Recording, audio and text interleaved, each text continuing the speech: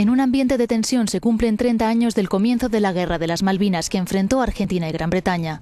Murieron 900 soldados en 10 semanas que terminaron con el triunfo británico. En Ushuaia, la presidenta argentina Cristina Fernández de Kirchner recordará a los argentinos que perdieron la vida. Nunca hemos dejado de pelear por Malvinas. Como dijeron mis compañeros, si estamos hoy acá es para rendirle honor y homenaje a los verdaderos héroes, aquellos que quedaron, que están plasmados acá en en el cenotafio. El descubrimiento de petróleo en las aguas del archipiélago ha disparado las tensiones. Londres envió un navío de guerra con las últimas tecnologías y el príncipe Guillermo, heredero de la corona, pasó seis semanas de entrenamiento militar. Buenos Aires lo consideró como una provocación, amenaza con demandar a cualquier empresa que intente extraer petróleo y protesta ante la ONU por la militarización británica.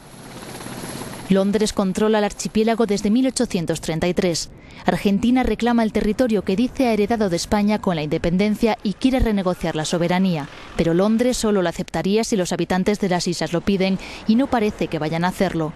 En 2010 se encontraron 350 millones de barriles de petróleo que podrían empezar a extraerse en 2016. Las exploraciones continúan. El crudo podría aportar en 25 años entre 10.000 y 140.000 millones de euros a las islas.